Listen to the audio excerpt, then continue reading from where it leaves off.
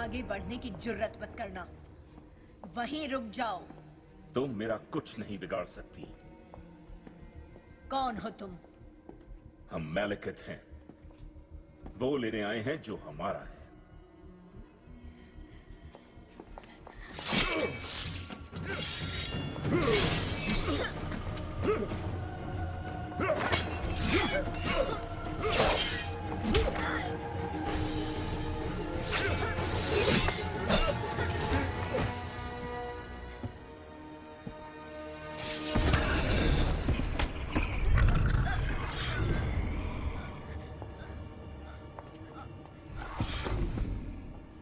तुम्हारे पास मेरी अमानत है बच्ची।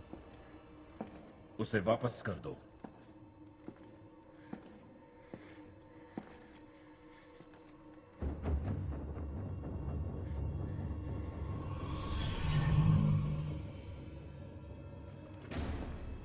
जुड़ैन कहाँ है ईथर? कभी नहीं बताएँगे।